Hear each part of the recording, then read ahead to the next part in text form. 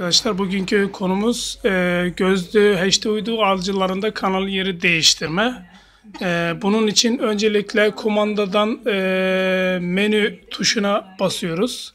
Menü tuşuna bastığımız zaman kanallar, kurulum, ayarlar, internet gibi bunu sağdan sola doğru taşıyabiliriz. E, ön, mavi kısımdaki kanallar kısmını gösterelim sana hanım.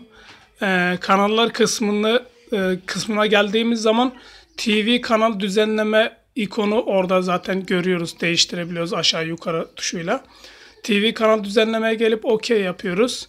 Bunu e, bütün kumandaların standart şifresi e, şifre istiyor. 4 tane sıfır yaparak e, ikonun içine giriyoruz.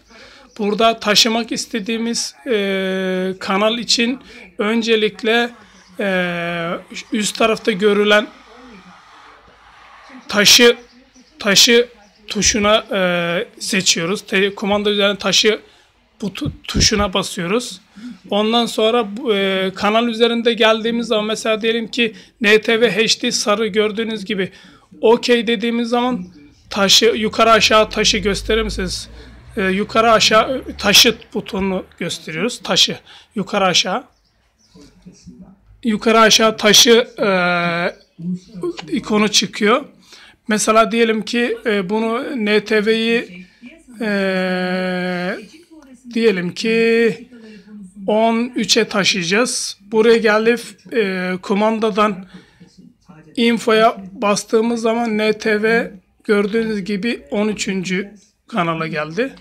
Bizi seyrettiğiniz için teşekkür ederiz. Böylece bütün kanalları bu şekilde taşıyarak istediğiniz yere getirebilirsiniz. Teşekkür ederiz.